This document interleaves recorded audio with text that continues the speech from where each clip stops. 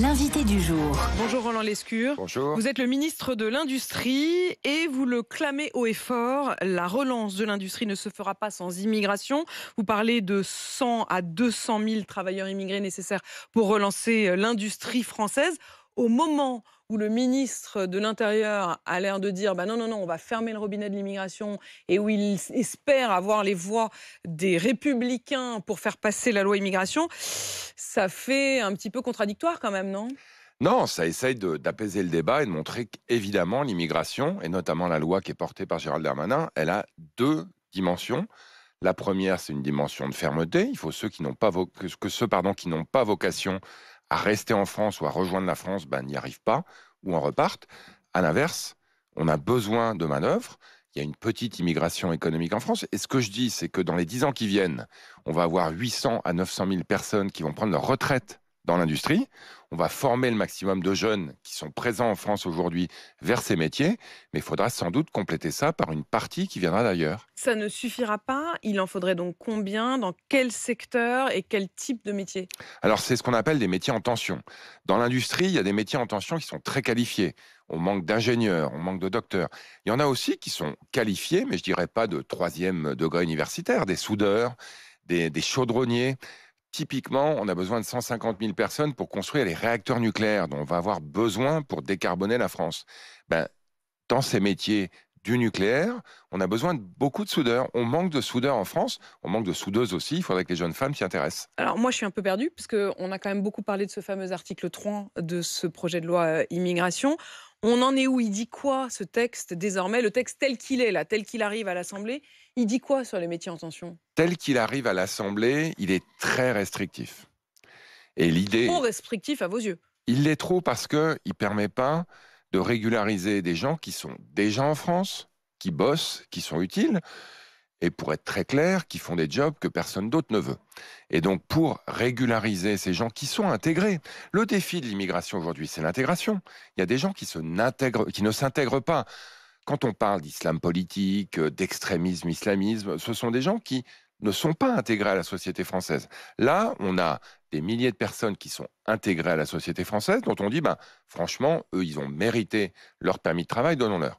Et donc l'idée, c'est de converger, je l'espère, vers un compromis. Il y a aujourd'hui un, un, amendement du rapporteur Florent Boudier qui prévoit que, sauf exception, les exceptions, c'est quoi? C'est une remise en cause violente de l'ordre public, c'est la polygamie, c'est des comportements qui sont clairement pas en phase avec ceux qu'on souhaite avoir en France, ben, sauf pour ces exceptions, ceux qui sont en France depuis un certain temps, qui bossent, qui sont intégrés, doivent pouvoir être régularisés. Au fond, c'est assez raisonnable. mais pour vous, il y a deux choses. Il y a ceux qui doivent pouvoir être régularisés et qui sont déjà là, mais il y en aurait 100 à 200 000 qu'il faudrait en plus faire venir. On est bien d'accord Oui, alors il y a un dispositif qui existe déjà, qui s'appelle le passeport talent, qui permet notamment dans le secteur des nouvelles technologies, où on a besoin de talents très particuliers de faire venir des ingénieurs ou des chercheurs. Moi, ce que je dis, c'est qu'il faudra sans doute élargir un peu ce dispositif à des métiers particuliers dans les dix ans qui viennent pour qu'on puisse faire venir ce dont on a besoin et qu'on n'arrive pas à former en France. Et ça passe, pour vous, ça passe? C'est-à-dire, vous en avez parlé, j'imagine, avec Gérald Darmanin. On sent bien qu'il est quand même euh, à la recherche des voix de la droite. Euh, votre, euh, votre proposition, votre insistance sur ce besoin d'une immigration de travail, est-ce que ça passe? Ben, En tout cas, il y a un député qui s'appelle Marc Ferracci qui va porter un amendement dans ce sens. Ce que je dis, au fond, c'est pas très loin de ce que disait Nicolas Sarkozy il y a dix ans. Est-ce que c'est vraiment de gauche que de dire qu'aujourd'hui, on a des besoins économiques et qu'il y a des talents qui peuvent rejoindre la France et qui vont du coup s'intégrer davantage via l'économie? Ça fait des siècles que la France est un pays d'immigration. Ça fait des décennies que l'immigration qui marche en France, il y en a une qui marche, et j'aimerais qu'on le dise de temps en temps, elle marche parce que les gens s'intègrent, parce qu'ils bossent, parce que leurs enfants vont à l'école, à l'université. On a des générations de Françaises et Français qui viennent de l'étranger et qui se sont intégrés et qui aujourd'hui font la France.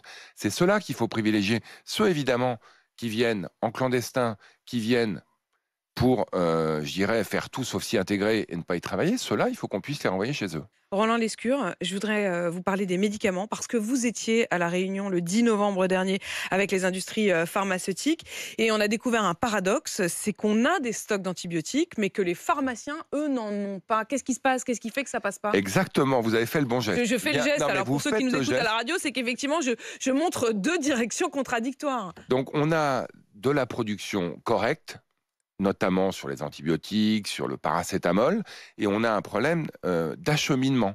Il faut que ça arrive. Donc il y a des pharmacies qu'on en trop, pour simplifier, des pharmacies qu'on n'en a pas assez. Donc ce qu'on a annoncé avec Aurélien Rousseau, c'est qu'on va... Le ministre de la Santé Le ministre de la Santé, on va coordonner le travail entre les industriels, ce qu'on appelle les grossistes répartiteurs, ceux qui ramènent les médicaments chez les pharmaciens, et ça via un système qui va permettre de connaître les stocks. On a besoin de savoir en fait si le pharmacien... Mais c'est quand ça? Alors, on est en train de développer le système et il sera disponible dans une version euh, préliminaire dès cet hiver, parce qu'on veut évidemment pas que, comme l'année dernière, on se retrouve on avec pense évidemment au mois de janvier, février, euh, mars, qui sont les moments où il y avait eu le plus grande, les plus grandes pénuries et tensions l'an dernier. Donc, ce que vous nous dites ce matin, c'est que ça, ça, ça devrait passer. Ça devrait passer sur tous les médicaments dits en tension, qui sont ceux importants qui sont ceux qu'on utilise en fait face aux épidémies qui se passent malheureusement en hiver. Effectivement. Merci Roland Lescure, ministre de l'Industrie, qui appelle donc à euh, ce qu'il y ait la possibilité d'une vraie immigration de travail pour sauver, dites-vous, l'industrie française. Euh, il y a euh, au 32-16 de nombreuses réactions, je le disais, au propos de Christophe qui était avec nous à 6h40. Et il y a Fadela notamment qui nous appelle de Comont dans l'Ariège. Bonjour Fadela. Oui, bonjour. Fadela, vous êtes infirmière. Vous avez entendu Christophe qui disait quasiment souhaité euh, qu'il y ait des confrontations comme il y en a eu à Romans-sur-Isère. Euh, Fadela, comment vous réagissez? Vous qui êtes infirmière donc euh, à Comont. voilà, donc moi j'ai 47 ans ouais. et je suis infirmière libérale et aujourd'hui je suis de repos et je vous écoute tous les jours dans ma voiture. Mmh. Aujourd'hui je suis de repos et j'ai entendu ce qu'a dit votre auditeur tout à l'heure et ça me fait peur. Mmh. Euh, ce qui me fait peur, euh, c'est cette montée de haine, cette montée de, de racisme qui est dit aujourd'hui. Mm. Euh, je suis née en 76, j'ai vécu les belles années 80 dans la mixité et tout se passait très très bien. Et aujourd'hui, j'ai ma fille de 15 ans qui, l'année dernière, en troisième, a reçu des tranches de jambon sur la tête en cours de physique. votre fille a reçu des tranches de jambon sur la tête? Oui, en cours de physique. Donc, euh, moi, je suis, euh, comme M.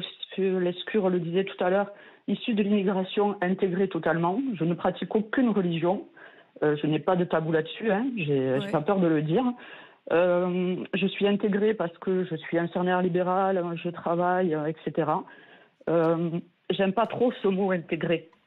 je vous sens très émue, Fadela. oui, parce que c'est un sujet sensible. Bien sûr. Voilà. Euh, j'aime pas trop ce mot intégration parce que je ne sais pas ce qu'il veut dire.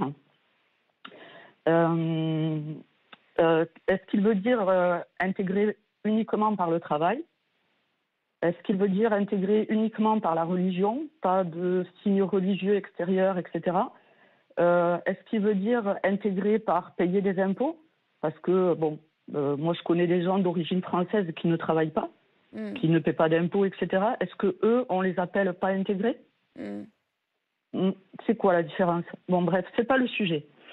Euh, non, non, mais c'est intéressant aussi que vous, le, que vous, que vous l'exprimiez euh, comme ça, euh, Fadela. Aujourd'hui, vous avez entendu en effet les propos de Christophe, vous dites que ça vous fait froid dans le dos. Votre fille, d'abord, comment est-ce qu'elle a réagi et comment est-ce qu'elle a vécu ça? L'intervention, elle n'a pas entendu. Non, non, pas l'intervention, pardon. Vous disiez que votre fille, elle, a, elle, elle s'est fait envoyer des tranches de jambon sur la figure en plein cours. En plein cours de physique l'an dernier. Comment elle a vécu ça? Qu'est-ce qu'elle en dit, votre fille, qui a 15 ans? Alors, ma fille, l'an dernier, est rentrée, elle n'était pas bien. Hmm. Euh, elle était en troisième. Euh, je tiens à dire que ma fille est une excellente élève. Je suis intolérante sur les résultats scolaires, comme l'étaient hmm. mes parents issus de l'immigration, qui ne savaient ni lire ni écrire. Hmm. Euh, en, deux, enfin, en dehors de ça, on en a discuté à distance un petit peu, parce qu'elle avait réagi à chaud. Euh, je lui ai demandé si moi je devais faire quelque chose auprès du collège. Elle m'a dit que non, mais je la voyais pas bien. Du coup, je l'ai fait. Et euh, ces gamins-là ont été reçus par la conseillère principale d'éducation. Euh, et ont eu le serment habituel. C'est pas bien. Voilà. Donc, et c'est tout, il n'y a pas eu de sanctions y a pas Non, il n'y a pas eu de sanctions. Euh, Fadela, merci en tout cas d'avoir euh, réagi euh, ce matin. On, sent, on, sent, évidemment votre émotion. vous disiez que vous, vous faisiez référence effectivement à, à l'immigration économique dont Fadela se revendique. Monsieur le ministre, vous êtes toujours avec nous. Comment vous réagissez? Fadela a tout dit. Ses parents sont arrivés en France. Ils savaient ni lire ni écrire le français. Elle, elle est infirmière. Et sa fille, visiblement très bonne élève, elle fera des études supérieures. Mm. Voilà. En fait, c'est ça l'intégration. C'est l'ensemble des facteurs qui font que on accueille des gens qui veulent venir Mais elle dit aussi, Fadela, qu'on lui demande presque plus à elle de s'intégrer qu'à d'autres qui ne font pas justement ces démarches-là. Comme si on lui, demande, on lui demandait de prouver plus encore que d'autres. Non, mais j'entends ça. C'est-à-dire qu'on a parfois des doubles standards, alors que au fond, une fois que vous êtes arrivé en France et que vous avez le droit d'y être, vous êtes comme les autres. Vous travaillez, vous payez vos impôts, elle l'a dit, merci Fadila, on en a besoin, et vos enfants vont à l'école et s'intègrent. Donc il faut qu'on arrive à apaiser ce débat. Moi je suis désolé, quand j'ai entendu Christophe, j'ai été glacé, glacé d'effroi. Euh, effectivement, je préfère, dit Fadila, à des discours que, que tient Christophe aujourd'hui. Parce que la France, c'est un pays qui doit rassembler, surtout dans ces moments de violence à l'international en France. Rassemblons-nous derrière des exemples comme Fadila et d'autres. Merci euh, Fadila pour votre témoignage et d'avoir composé le 32-16. Vous êtes nombreux à nous appeler. Et merci Roland Lescure, ministre de l'Industrie, 7h53.